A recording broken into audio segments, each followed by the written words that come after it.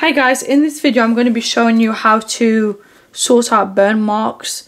For me personally, I've just redone the whole house and carpet and um, there's just this little burn. I've called the carpet supply. They said they'll do this single stairs for £97, which I'm not paying.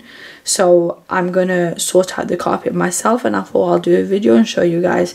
So the things that you'll need, scissors, fabric glue, and you can just get it from anywhere. I've got this from Range.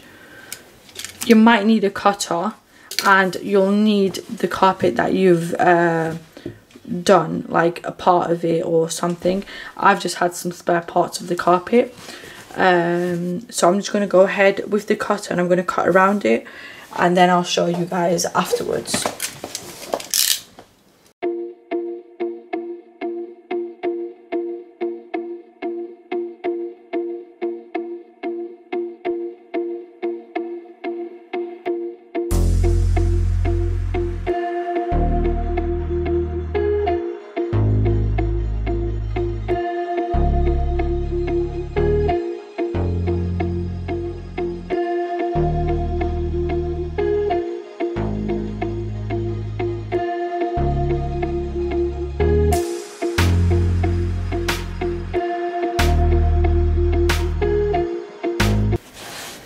I'm going to clean around it and the carpet obviously the new one is more cleaner than the one that's already there which I'm going to show you guys how to make it the same color.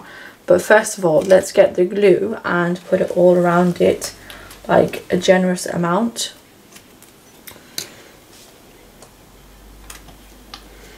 And I'm just going to try and fit the carpet in so you can't see the blue marks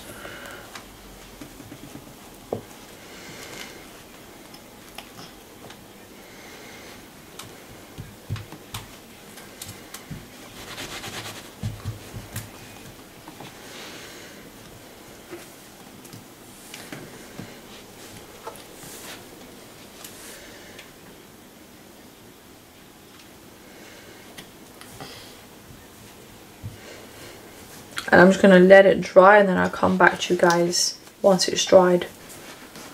Hey guys, so this is the finished result of the carpet. I hope you like this video. Um, let me know what you thought about it. If you do have any other questions, do comment down below.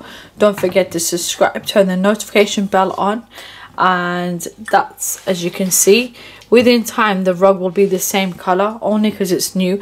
You can't really see it unless you zoom in. Uh, so yeah, there you go. Thanks a lot for watching. Take care. Bye.